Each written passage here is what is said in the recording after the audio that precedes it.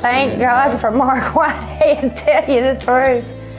Um, because if it wasn't for him, we wouldn't have. We, I mean, really, we wouldn't have. and We I- had done it twice on our own and Yeah. were denied. And after that, I, you know, called several lawyers and, you know, it was like, it was nothing to them. It wasn't important. we seen Mark on TV. I called him up and, like I said, you know, maybe a week later, he sent somebody out to where we were and they filled the papers out right then and got it going. He done all the work for us and everything. All we had to do was show up and You know, like my husband says, I, I believe in Mark Whitehead.